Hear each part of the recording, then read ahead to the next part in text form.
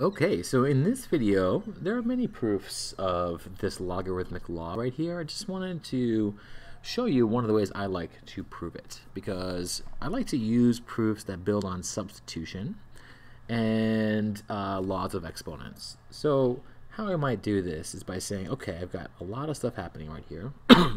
I've got the log base a of a plus the log base a of b, and it equals the log base a of a times b what if I just kind of write this out? Let's see, u equals the log base a of a.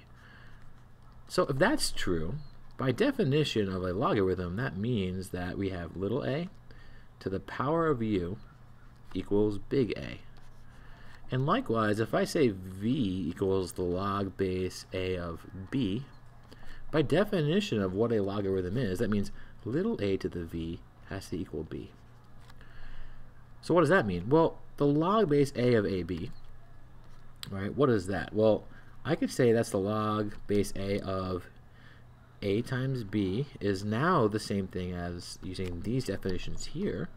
Log base a of a to the u, this is little a, times b, instead of b, are a to the B.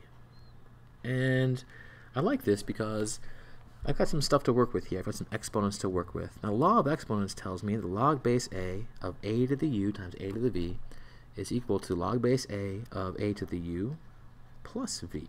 Right? Law of exponents. You got two things, multiplying them equal base, you add the exponents. Now, what can we do right here? Well, this by definition is u plus v. Why is that?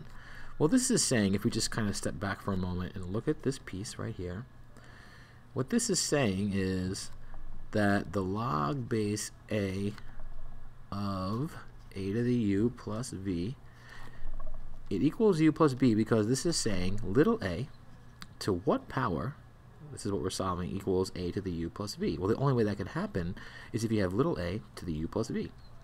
It literally equals a to the u plus v. So that's what we're connecting right there. And we're done. Eureka. Why? Well, this whole chain of things here equals log base a of a times b.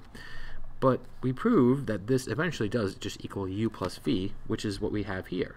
u equals the log base a of a plus v, and v equals the log base a of b.